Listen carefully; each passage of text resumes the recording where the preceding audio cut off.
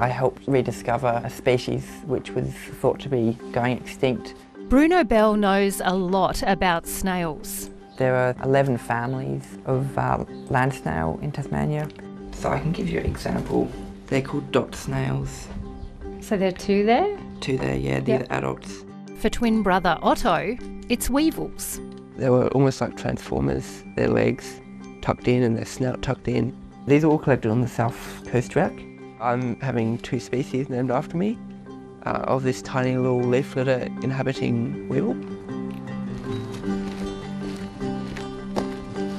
The 21 year old Tasmanians have turned a childhood passion for nature into what could become a promising career. Oh, is that a weevil? No. Oh, it is!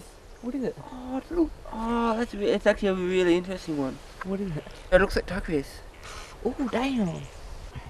Two of Tasmania's only experts on their preferred invertebrates, Otto and Bruno frequently take field trips together.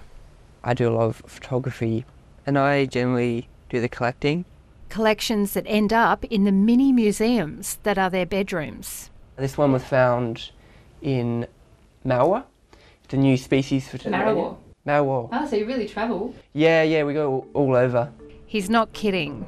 From the bush and beaches of Tasmania to the natural history museums of mainland Australia and even Europe, Otto and Bruno are well versed in species of the world.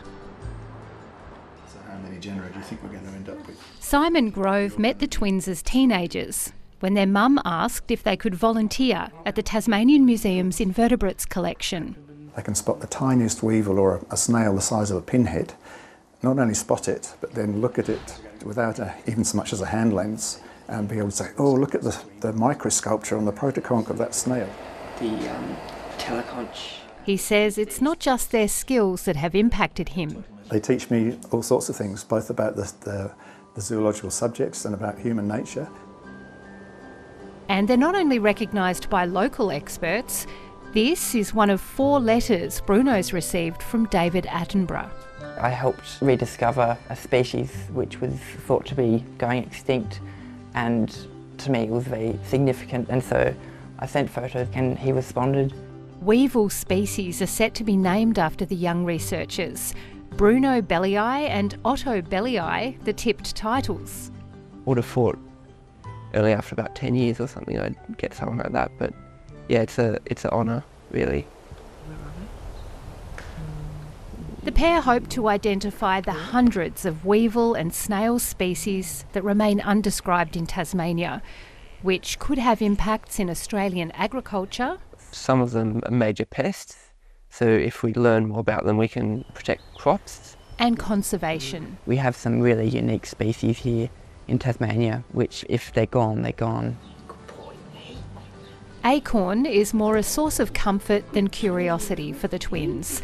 The fox terrier is named after one of their first ever collections, but it's creatures far, far smaller that will always bond the bells. We'll always have that like shared interest and we'll help each other with research. But I think we'll go on separate paths. One day, perhaps a long way down the track. Alison Costello, ABC News.